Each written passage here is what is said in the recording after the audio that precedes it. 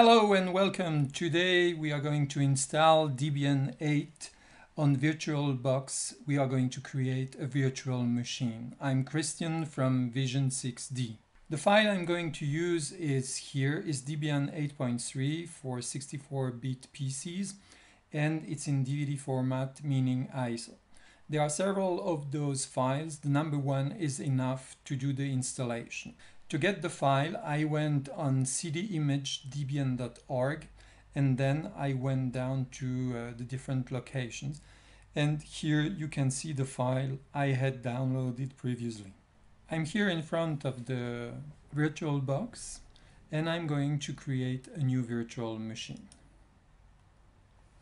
I will call that one Debian 3 and it's Linux, you see Debian 64-bit version. If you need the 32-bit version, you can also change and put a 32-bit version. So I'm going to click Next. Um, I'm going to work with a memory size of 4 gigs and I'm going to create a new virtual hard disk now. I will create a disk in the shape of VDI, it could also be VMDK. I choose that it is dynamically allocated like that the size on the hard disk itself will be minimal and it will grow as I'm using it. The size I'm going to use for this file system is 25 gigabytes. Now I create.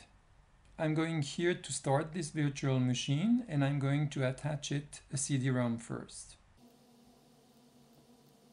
I will add an optical drive. I will choose a disk. I will select my file. Here, my ISO file. Open. So we see here that we have the controller and now it has connected to my ISO file. I can say OK to that.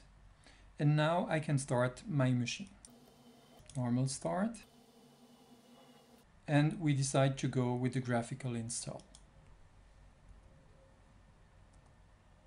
We have now to, to choose a language. So English is fine for me, could be fine. I'm going to choose another location. Now the keyboard mapping you choose as uh, is your keyboard.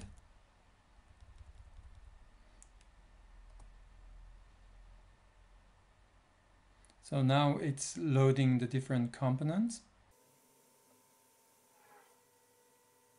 Now I choose a host name, which will be Debian3, the domain name, and now you have to choose a root password. So I will here put a username and I choose a password for the user.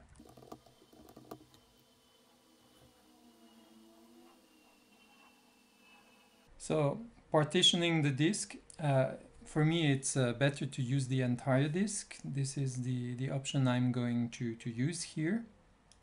And the full disk can be used. It's a small disk in the end, so all files in one partition. This is absolutely fine for me. And now it can finish the changes and finish the partitioning of the disk. We need to define here that we really want to write the changes to the partition and now the formatting went on and it's really installing the system. So the installation DVD has been scanned. So we just click continue here. Now we can use and define a mirror to supplement the, the software. This is for updates and packages. This is uh, good to, to define at this point. I have one here which is defined in Switzerland, which is uh, a good solution for me. And here I will choose the one which is here up, which is Debian at the Polytechnical School in uh, Zurich. If you need a proxy server to go out, you have to define it here. For me, it's not my situation.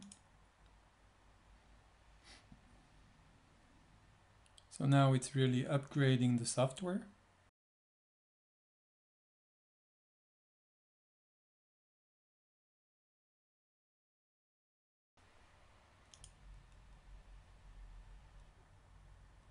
we are going here to select the device for the bootloader.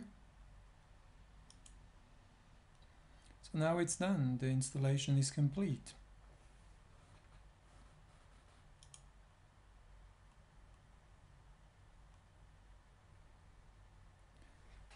We'll see now it's rebooting with having unmounted the CD-ROM. And now the system is up, so let's log in. And here we are up. So this was it for the installation. So if you have any question, you can post me, set me questions on my YouTube channel, some but to like it, and of course you can subscribe to my channel. So see you soon. Bye.